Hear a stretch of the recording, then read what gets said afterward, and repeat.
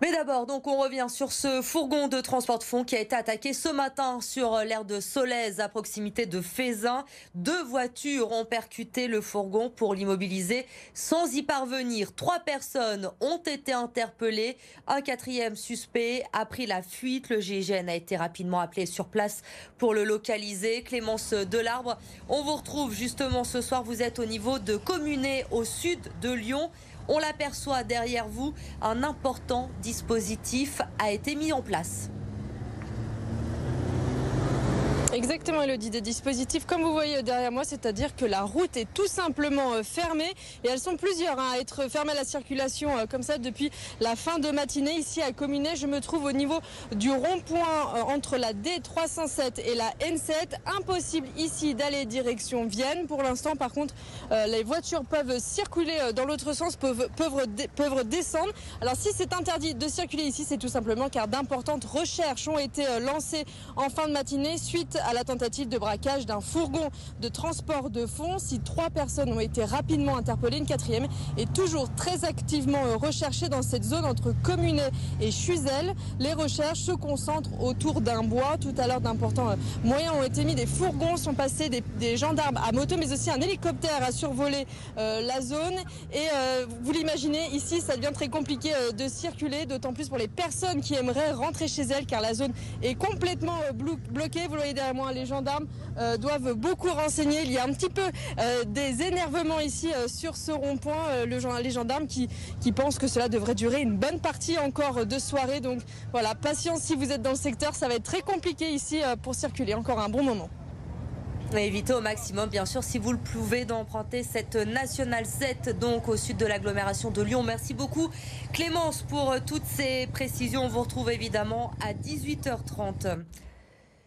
Trois familles à présent qui sont privées d'électricité à Villeurbanne le 9 septembre dernier. La SEMCODA, le plus grand bailleur social de la région, a tout simplement demandé à Enedis de démonter le compteur d'électricité qui alimente une maison, maison où vit euh, une quinzaine de personnes depuis 2019. Euh, la ville a condamné immédiatement ces agissements. Laurent Canonico.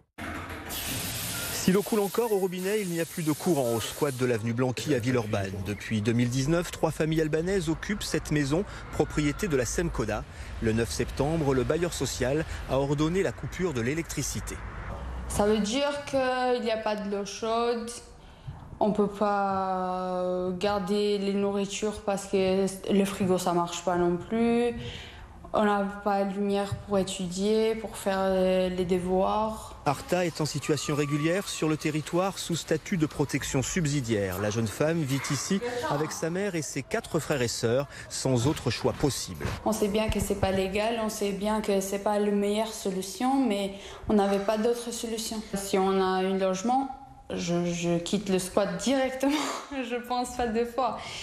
Le bailleur souhaite raser la maison pour faire une extension de son EHPAD mitoyen. Après plusieurs mois sans réponse, le dialogue a repris entre le propriétaire et la municipalité. Nous avions alerté euh, dès le, mois de, dès le printemps, dès le mois de juin, euh, la SEMCODA de cette situation. Nous avons eu, euh, nous avons eu aucune réponse de la part de la SEMCODA pour travailler à un relogement de, ces ménages. Aujourd'hui, la SEMCODA s'engage à travailler avec nous et les services de l'État pour accompagner les ménages. Mais aujourd'hui, il n'y a pas d'engagement ferme de la part de la SEMCODA. Contactée, la SEMCODA s'engage à reloger les squatteurs dans les meilleurs délais. Impossible en revanche de rétablir l'électricité pour cause d'installations vétustes et dangereuses. En bref, les douaniers de Lyon ont saisi plus de 400 kilos de cannabis cette semaine lors d'une opération de contrôle sur l'A7 à hauteur du péage de Vienne. Les sacs étaient dissimulés dans un chargement de pastèques. Le chauffeur a déclaré ignorer la présence de ces produits stupéfiants dans son camion. Il va être jugé en comparution immédiate. Si vous habitez dans le quartier de la préfecture à Lyon, attention, pensez bien à prendre vos dispositions. Une partie du secteur sera bouclée de dimanche 6h du matin à lundi 11h. Emmanuel Macron est en effet attendu à la préfecture dimanche soir. Le chef de l'État doit assister au dîner des grands chefs organisé dans le cadre du CIRA. Il se rendra d'ailleurs sur le salon le lendemain matin Résultat, les voitures seront enlevées dès 6 h du matin et la circulation interdite à partir de 15 h dimanche. Pour les piétons, la préfecture vous conseille également de vous déplacer avec une pièce d'identité et un justificatif de domicile. Ça fera un an ce dimanche, le 26 septembre dernier. Victorine était euh, retrouvée morte dans un ruisseau deux jours après sa disparition. Sa famille a décidé d'organiser une marche blanche en sa mémoire sur les réseaux sociaux. Son père invite ceux qui le souhaitent à venir avec une rose orange. C'était la couleur préférée de Victorine ou avec une rose blanche. La marche, la marche va partir dimanche à 14h30 du village des Marques à Villefontaine pour rejoindre le stade de la Prairie lieu où Victorine avait euh, disparu. Je vous rappelle qu'un homme a été interpellé en quelques jours seulement après le drame. Il a été mis en examen pour meurtre précédé d'une tentative de viol. Dans le reste de l'actualité, on vous en parlait ce matin sur euh, BFM Lyon, la ville qui détient désormais un nouveau record. La piste cyclable sur la rive gauche du Rhône est désormais la plus fréquentée de France. Plus de 16 000 vélos l'ont empruntée en seulement une journée. Un succès qui crée aussi des embouteillages et des tensions parfois entre les usagers. Arthur Blé. Sur les quais du Rhône, ce compteur s'affole. À la mi-journée, déjà près de 6000 vélos ont emprunté cette piste cyclable. Depuis le début de l'année, ils sont plus de 2,5 millions et demi à l'avoir fréquentée. Sur ces quelques kilomètres de bitume les plus empruntés de France, la circulation est parfois dense. Résultat, la cohabitation entre usagers devient difficile. On ne peut plus rouler, les vélos, ils se régalent, c'est magnifique. Continuez, c'est bien. Nous, on va se barrer de cette ville. Ça se croise, les vélos, euh, voilà, il y en a qui respectent pas toujours les priorités, des choses comme ça. Faut être prudent. C'est un peu la loose en fait. Euh, c'est pas tant les vélos, c'est plutôt les voitures qui se garent sur nos voies régulièrement. Donc pour avancer, c'est pas toujours évident, évident. Pas évident, car les vélos sont tout aussi nombreux que les voitures, mais disposent de trois fois moins d'espace. Pour les associations de cyclistes, certains aménagements doivent être revus notamment les croisements au niveau des ponts. Un, cycliste qui continue tout droit, euh, bah, dans le code de la route, il est prioritaire sur les voitures qui tournent. Les automobilistes ne le savent pas forcément, hein. c'est une règle qui existe depuis longtemps, mais malgré tout, euh, elle n'est pas bien connue, cette règle. Message entendu par la métropole de Lyon, d'ici un an, la piste des quais du Rhône s'agrandira pour devenir la première voie express du grand réseau vélo, un projet phare porté par la majorité écologiste. Allez, comme chaque vendredi, notre page sport dans Bonsoir Lyon, l'Olympique lyonnais qui va recevoir Lorient demain soir au Groupama Stadium.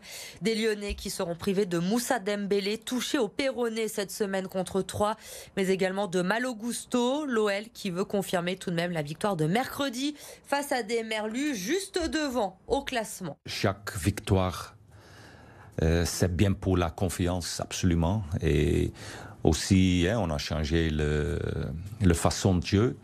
Donc euh, les victoires aident là-dessus, bien sûr. Croyez-moi, un joueur qui gagne, c'est un complètement autre joueur, un joueur qui, qui perd. Euh, et ça donne quelque chose pour, pour un joueur, mais aussi pour l'équipe, c'est pour, pour les fans, pour, pour toute la club.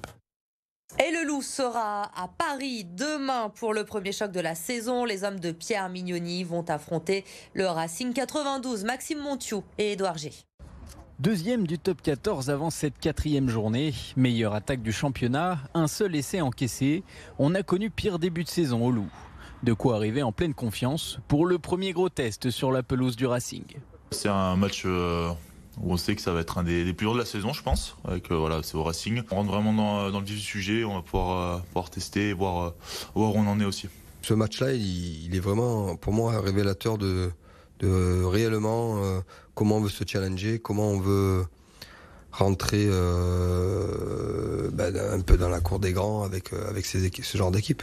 Pour espérer ramener la victoire, il faudra cependant se montrer plus discipliné. Si la défense est une réelle satisfaction depuis la reprise, le loup part trop souvent à la faute et offre trop de points au pied à l'adversaire. C'est quelques fautes un peu un peu stupide où on est on est encore pas assez assez malin et euh, et on, montre un mauvais visage à l'arbitre et du coup euh, il nous a un peu dans le collimateur donc c'est vraiment aussi dès le début du match montrer qu'on est propre et comme ça l'arbitre aura une une bonne idée de, de nous pour tout au long de la rencontre. Le Loup connaît la recette pour s'imposer à la Paris La Défense Arena.